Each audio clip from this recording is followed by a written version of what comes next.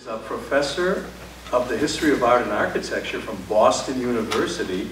She has a, a very distinguished, prolific history of publishing essays and articles, and she's also the 2011 receiver of the College Art Association Distinguished Teaching in Art History Award. Welcome, Patricia Hills.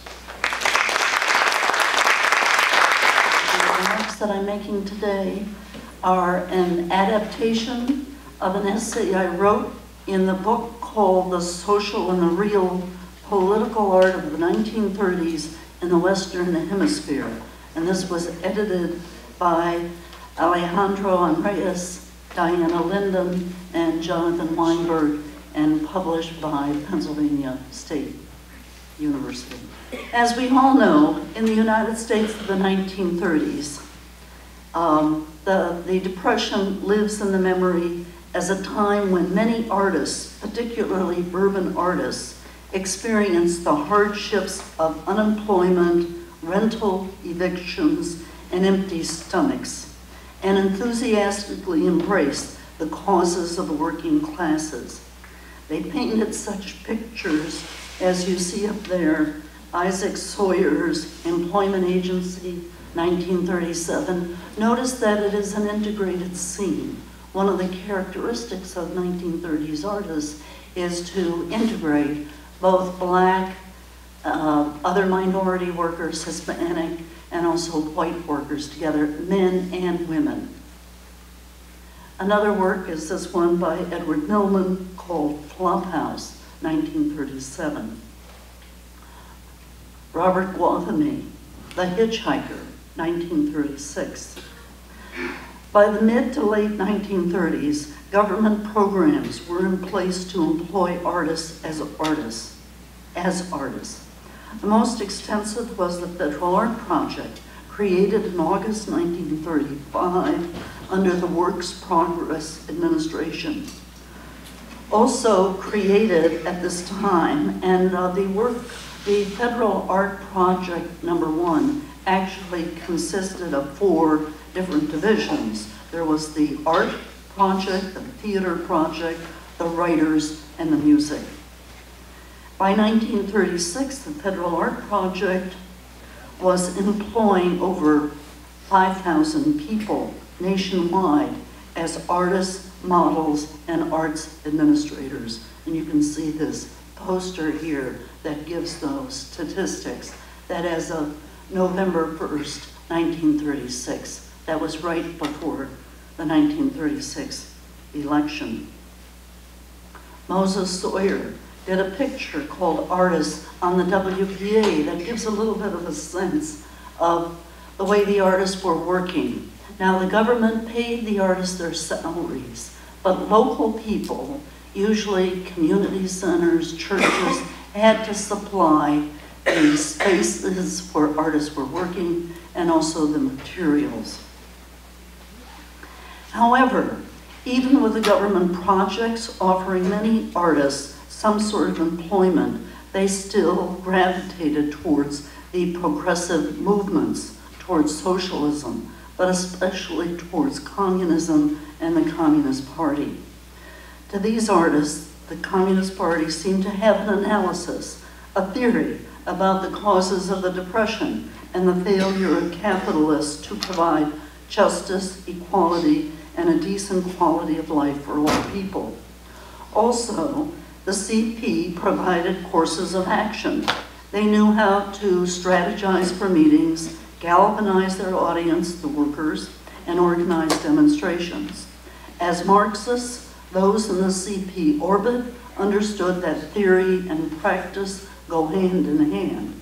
As to the WPA Federal Art Project, it was often, which was often having cutbacks, artists were had to mount protests against them.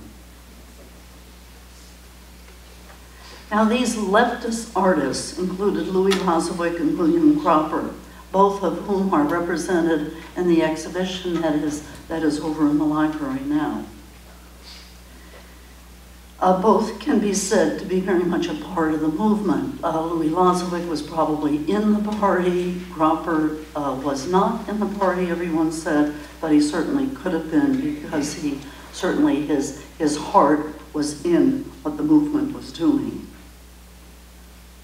And these these are covers of the New Masses. The New Masses was a, a sort of a radical literary journal that was very much influenced by the Communist Party. People who were the editors were also, um, many were in the party. But this, the New Masses was a major, really a major publication with artists such as, with writers such as Ernest Hemingway and John Steinbeck, who wrote frequently for it. Now both uh, and also Lozowick were founders of the John Reed Club, an organization of writers and artists who had been hanging out in the offices of the New Masses when they'd then decided to get their own space.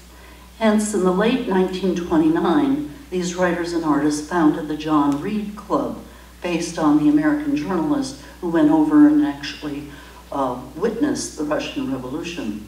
The club grew and eventually had chapters in about 32 different cities. In New York, the artists and the writers met separately.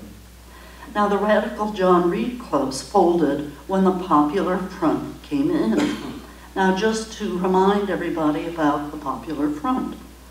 During the 1930s, the CPUSA changed its political course following the lead of the Soviet Union, which recognized the strength of the fascist onslaught in Europe, and they therefore changed their international strategy. The CP, uh, so, well, the Soviet Union CP, suspended its support of local communist revolution, and instead, the new policy was building a mass movement of progressive organizations in all countries in order to uh, confront the spread of fascism. That strategy became known as the Popular Front. Now, in the US, that meant, in other words, very briefly, that the CPUSA in the early 1930s considered itself a revolutionary party, unwilling to make alliances with the liberal leadership of other progressive organizations, and expressing itself in the rhetoric of confrontational class struggle. But the second phase, the United Front, and that is really the period that we're talking about with the New Deal. As a consequence of this popular front line, party members and their friends disbanded those organizations deemed narrowly sectarian, such as the John Reed Clubs, and shifted to a rhetoric of conciliation and reform. One of the artists' organization, initiated by CP members, but whose membership included many leading centrist intellectuals and liberal intellectuals, was the American Artists Congress, which held its first Congress against war and fascism, that was the subtitle, in February of 1936.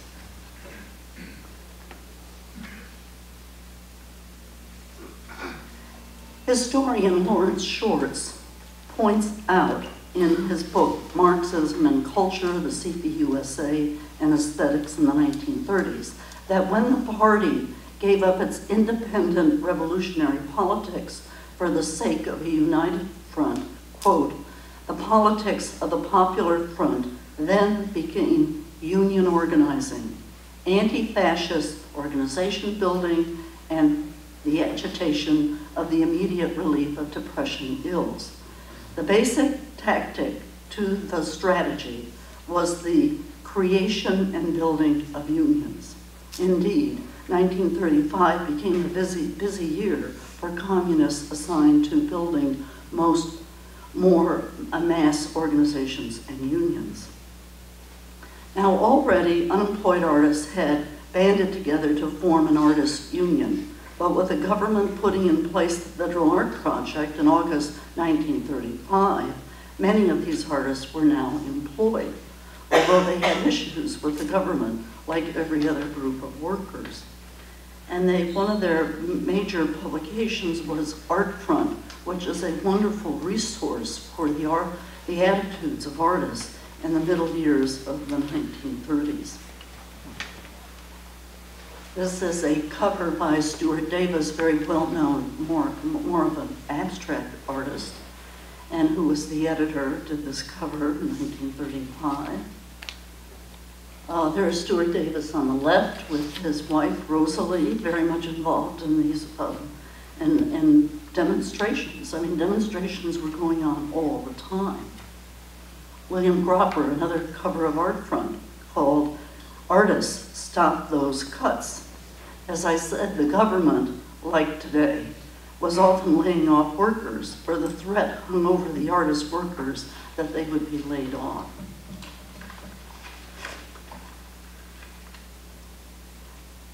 Now I want to get to the artist Philip Evergood, is to focus on him. He was an artist who was very much part of the movement and part of the union movement. He painted both scenes of struggle and also racial integration.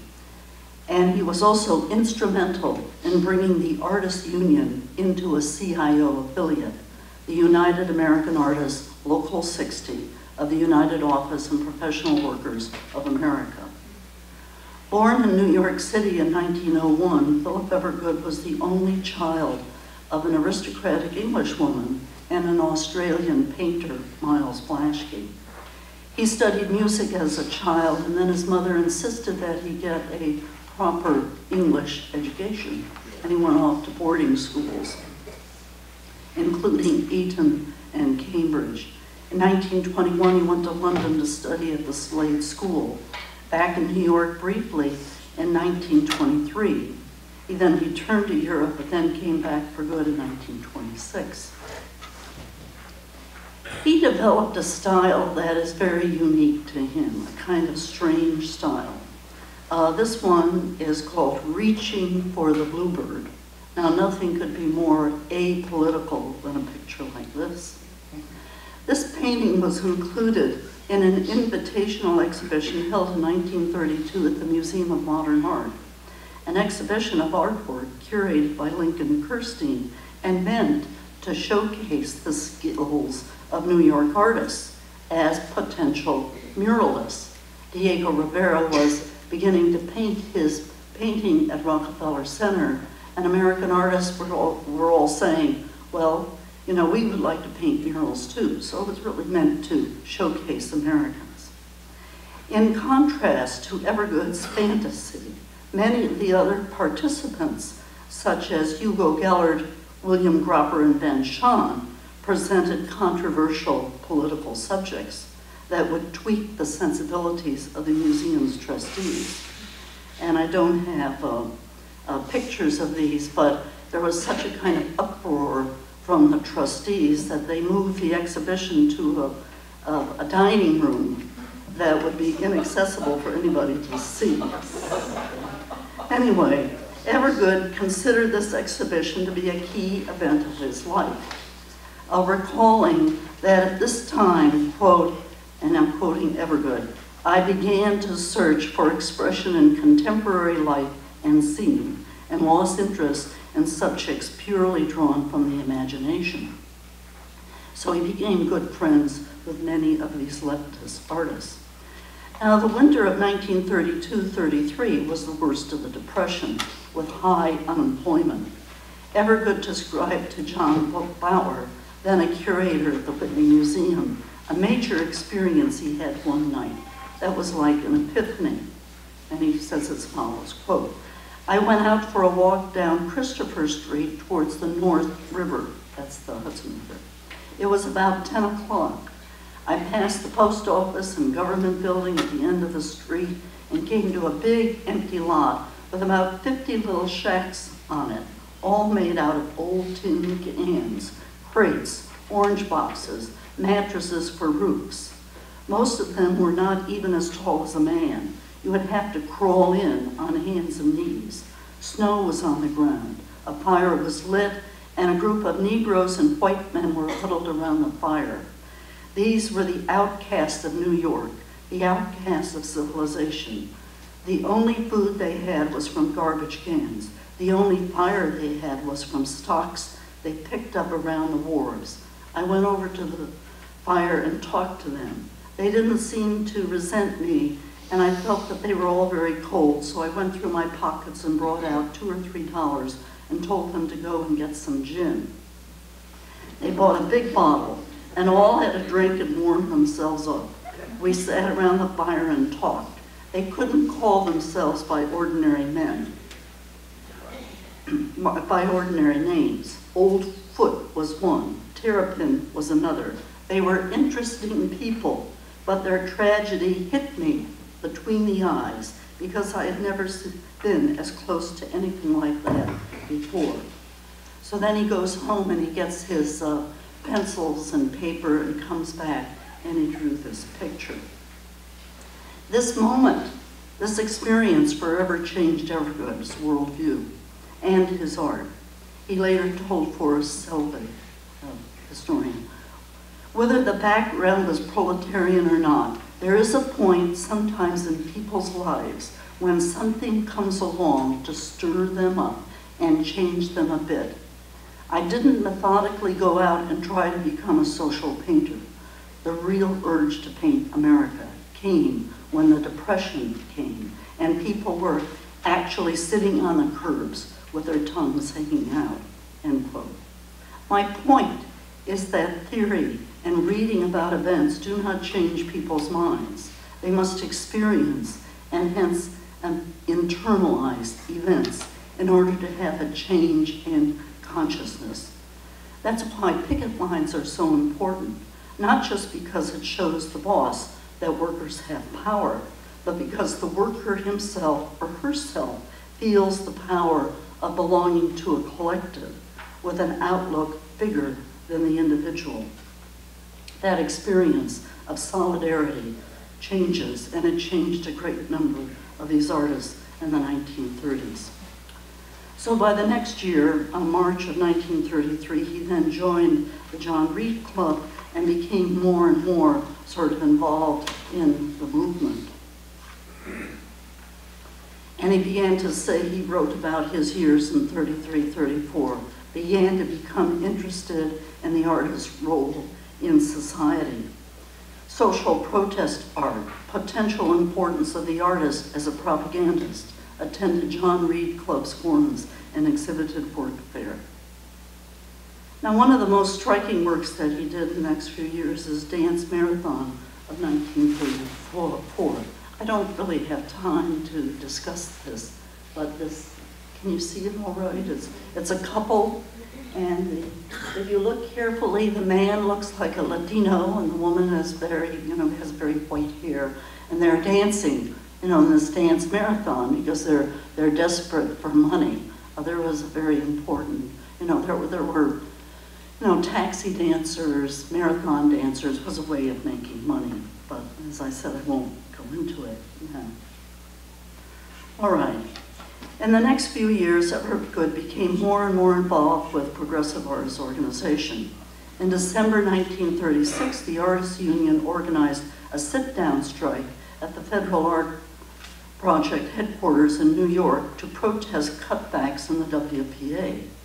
Artists felt betrayed by President Roosevelt, who had just been reelected in November 1936 in a landslide election in which the unions were very supportive of him. The artists were hoping to petition for a permanent art project. Instead, the government announced that it would cut 2,000 jobs from the art program. Now remember that, that that's a huge amount. Evergood was one of the org organizers. Some two, 219 people were arrested. There was then sort of massive demonstrations following. But let me just point out this one. These are, these are pictures that were in the New York Times.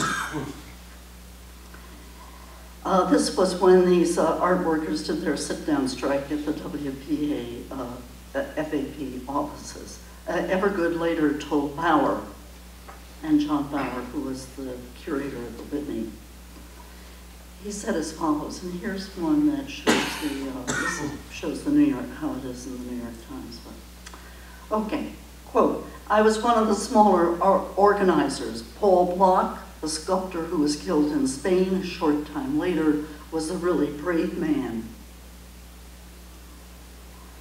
and really courageous person in that whole thing. He was conspicuously the revolutionary leader of it, you might say. He stuck his chin right out and put his arm around the post, and they had to beat him insensible to get him out, out of there. They beat me insensible, but not because I did anything heroic like that, but just because I was the biggest and standing in the room. Now, the demonstrations continued, and uh, here's another picture of a demonstration. Uh, Evergood then did in early 1937 the pink dismissal slip, which shows an artist. It's very much a self-portrait type, you know, looking at his pink slip. You can see his artist brushes in his hand. But now we get to the uh, sit-down strike. Uh, well, we get beyond the sit-down strike. But it was the experience, his own experience of the 219 sit-down strike was still fresh in his mind when he was jolted by the photographs and news of the police attacking striking workers on the ground, grounds of South Chicago plant of Republic Steel on Memorial Day of 1937, and Ahmed has told us about that. This is a clipping that I found in the Philip Evergood files, and he was very much affected by it. I won't read you, I mean, I won't tell you about, I mean, you know about the, the strike. But let me just show you the picture that resulted in that. Uh, it's a big picture, it shows the policeman coming at the workers. You see the man with the upraised club over on the right is very similar to the picture that is in, that was, you've already seen on the left. There's the man in the middle, you know, and he's fighting off. Notice that the woman uh, next to him, that the man is protecting this Latina woman. In the background between the heads of the two policemen is a black man. There's also a figure there, down there towards the bottom, which very much looks like Philip Evergood and his own experiences of having been beaten by the police. There's a man that's lying on the ground that was in one of the pictures that you saw, a black man who has a vest on. I'm not sure if that picture came out when, um, I don't know if that, that man was in it, but a black man lying on the ground. And in the picture over here, he has the American flag in the hand of the black man. And he wanted to stress the fact that to Evergood, it was a peaceful sort of picnic you know, and of course, we've just heard that it wasn't exactly a picnic, but certainly there was a kind of festival, you know, uh, I mean, the fact that it was on Memorial Day. And then in the lower right corner, there is a hat, you know, the kind of a hat that you wear to a pic picnic, a boat or a little straw hat. Then returning uh, to the picture. Another thing is that if you can notice this, is that the woman there is pregnant. And there is a there is a history, of course, of pregnant women sometimes putting themselves at the very front of a demonstration to sort of inspire people. Well, if she's willing to do that, we should also do that. And certainly in the you know the history of art, uh, you see that. So he said, he said later to John Baur, he said, I think that anybody who hasn't really been beaten up, the beaten up by the police badly, as I have, could have painted an American tragedy. And this picture, by the way, is one of the most radically revolutionary pictures of the period. Even though it was done in the so-called popular front period, artists such as Philip Evergood still felt themselves to be anti-capitalist and anti-revolutionary. Now, I just want to, I know time is getting short, but I do want to return to, um, to this, this other point about his union activity. Evergood at this time became even more deeply involved in the artists' union and labor issues. The summer of 1937, he was elected president of the Artists Union, a post he held from September 37 to September 38. the two main jobs had to be accomplished. The first was to affiliate the artists union with a larger union, and the second to push for the federal arts bill, which had been introduced by Congressman John M. Coffee in August 1937. The bill called for a permanent Bureau of Fine Arts. Evergood explained in an article that he wrote to the American Artists Congress uh, when they, I mean, a, a talk that he gave uh, to the second convention in 1937. Quote, artists now look to the establishment of a permanent Bureau of Fine Arts as a logical and necessary step, they secure and stabilize life for themselves and the building of a great American culture. The rhetoric that Evergood used in all of his public statements for the Artists Union was one of reform, not revolution. Now, through the entire winter and spring, he expended a lot of energy lecturing and promoting this federal arts bill. And they, uh, meanwhile, and this is really interesting, the Artists Union Committee wrote to members requesting contributions of artworks for a 20 to 30 inch leather-bound volume of 50 to 75 drawings, watercolors, and prints that was going to be presented to the, pres the president. And maybe later I can talk a little bit more about this when we're having our panel discussion. But they, they, these artists felt that they would give this portfolio to President Roosevelt and he would see how worthy they were uh, of being, of being uh, financed, you know, and having a permanent art project.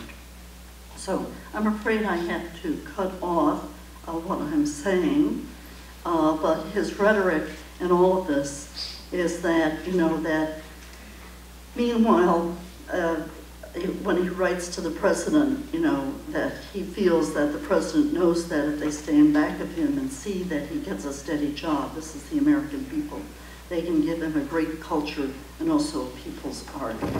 Anyway, I have to close. But here's another picture uh, that he did in 1938. It's a very complicated picture. It's interesting that the critics on the left really like this picture. The critics for some of the established newspapers thought that the picture was a bit of a mess. But anyway, and it is, you know, it's a kind of strange uh, uh, picture. But just to conclude, uh, because of his organizational position as president of the Artists Union, Evergood was one of a handful of articulate, socially concerned movement artists in a leadership position to influence his fellow artists. He incorporated popular front attitudes and rhetoric into his speeches, and he successfully merged the Artists Union into this larger union.